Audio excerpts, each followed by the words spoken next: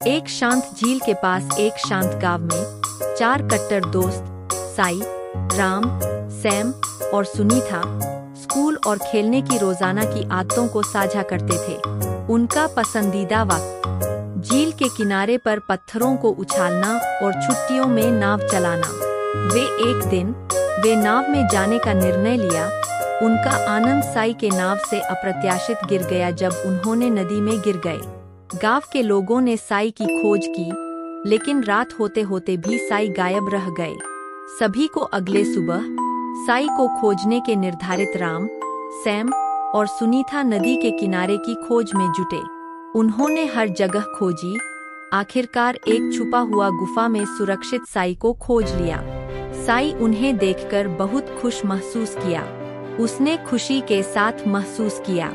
कुछ समय बाद वे सभी गाँव जाने का निर्णय लिया। उन्होंने साथ मिलकर गाँव की ओर बढ़ा।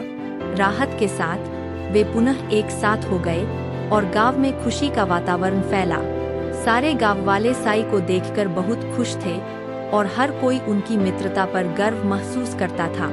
उनका बंधन कभी भी तेज हो गया। उन्हें पता था कि एक साथ वे किसी भी चुनौती को जीत सकते हैं, जो जीवन उनकी ओर फेंकता है।